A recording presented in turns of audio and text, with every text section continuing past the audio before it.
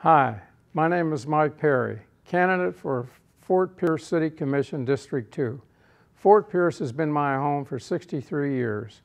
I've been a longtime follower of local government and activist for the citizens and their best interest.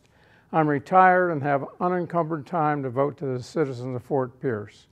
We'll maintain a daily office accessibility, no conflicts of interest, beholden to no group or individual, focus on government efficiency and service to the citizens of Fort Pierce.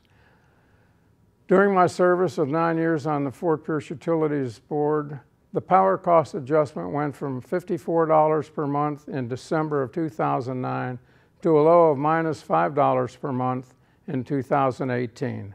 I was chairman of the Policymakers Liaison Committee at the Florida Municipal Power Association for three years, served on the Policymakers Committee of the American Public Power Association for two years.